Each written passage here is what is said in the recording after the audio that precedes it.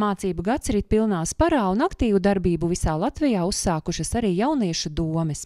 Tās pulcē no skolēnu vidus ievēlētus pārstāvjus, kas nevien organizē dažādas ārpusskolas aktivitātes, bet arī pauž jauniešu viedokli vietējās varas gaiteņos.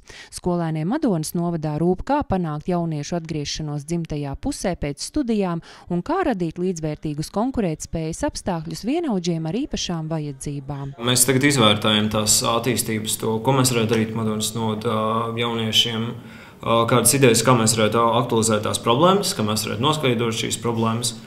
Un, un, un, un kāds pasākums mēs varētu veidot, lai jauniešiem Madonā ir ko darīt? Mēs esam ļoti spēcīgi cilvēki, nekautrējas atzīt Oskars Niks, Edijs Una un Ilgars. Jaunieši ir sapulcējušies finanšu un projektu nodaļas pirmajā sanāksmē un spriež par to, kā izveidot atgriezinisko saiti ar Madonas studentiem, kā ieinteresēt viņus atgriezties dzimtajā pusē. Jaunie domnieki apzinās, ka bez labvēlīgas uzņēmēja darbības vides laukos jauniešiem nav ko iesākt. Talantīgākie un pašspējīgākie jaunieši varētu nākt apakaļ, ja mēs padarītu labāku biznesa vidi. Kā Madonā bija pavisam nesen izskanēja informācija, ka Madona ir atzīta kā viena no jauniešiem un biznesam tā ļoti tā draudzīga un, un tāda veselīga vieta, kur kaut ko darīt, tad mēs arī mēģinām to padarīt vēl ar vien labāk. Savukārt UNA dosies pie deputātiem ar priekšlikumu atbalstīt vienaudžus ar īpašām vajadzībām. Jaunieti vēlas panākt pašvaldības finansējumu nokļūšanai speciālajās mācību iestādēs. Mūsu Madonā, kā jau visur Latvijā, ir cilvēki ar īpašām vajadzībām.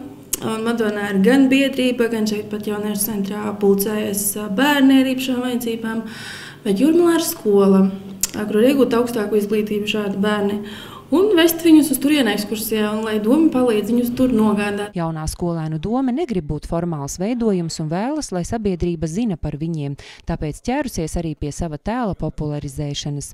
Tuvākajā laikā būs gatava Madonas novada jauniešu domes mājaslapa. Jauniešiem piesaistoša lai viņi iet iekšā un skatās, kas, ta, kas tur ir, lai viņi būtu arī ieinteresēti nākt uz šejieni un arī piedalīties paši, sniegt savas idejas. To, ka bez jaunās paudzes nav nākotnes un atjaunotajai infrastruktūrai pilsētās un laukos bez jauniešiem nav jēgas, apzinās arī ierēģi. Šis gads un arī pagājušā gada jau ieskicēja, ka jaunieši ir, ka viņi darbojās, ka viņiem ir savs viedoklis un tiek skartas, ka viņi ir paši tie iniciatori, lai risinātu kaut kādas problēmas. Un, manuprāt, um, šu, šis gads solās, manuprāt, būt ļoti veiksmīgs un tāds uh, labs iesākums. Ir arī ļoti jauka vadītāja.